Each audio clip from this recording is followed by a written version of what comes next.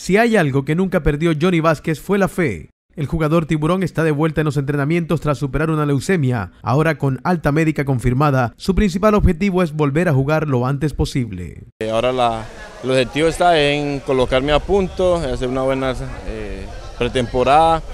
Sabemos de que va a costar porque siempre fueron cuatro meses, entonces le apostamos de que en un mes ya pueda estar haciendo fútbol con los compañeros y bueno, eh, mi fe está en eso. Esperamos pues de que también se aclare si, si estoy o no estoy eh, en la lista de los muchachos que planillaron en la I mayor. El periodo de convalecencia fue bastante complicado, sin embargo Johnny Vázquez rescata lo positivo dentro de su padecimiento. Muchas, digo que muchas. Eh, rescato de que pude compartir con mi familia, eh, compartir tiempo con mis hijos, poder levantarme y alistarlos para que fueran al colegio, tiempo para, para buscar los caminos de Dios, Creo que fue un tiempo bastante lindo, bastante especial, donde uno a veces eh, ese tiempo le ayuda a uno como a encontrarse con uno mismo, ¿no? Entonces, eh, gracias a Dios por, por ese tiempo y bueno, y también por estar aquí nuevamente. La actitud positiva, aferrarse a la familia, la ilusión de volver a jugar y el apoyo constante de los aficionados junioristas mantuvieron a Jory Vázquez con la frente en alto, enfrentando la enfermedad con mucho carácter. A ver, yo hice algo profético, ¿no? El profe dijo que me había inscrito en la nómina,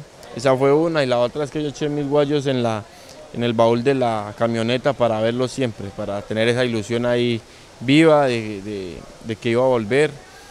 Entonces pienso que esas cosas lo motivan a uno y obviamente la familia y el aliento de la familia, de la, de la hinchada, eh, eso ha sido fundamental, ¿no? A veces eh, uno estaba por el centro comercial y, el hincha estaba siempre dándole voz de aliento y eso era un motivo, un plus más para seguir en la lucha.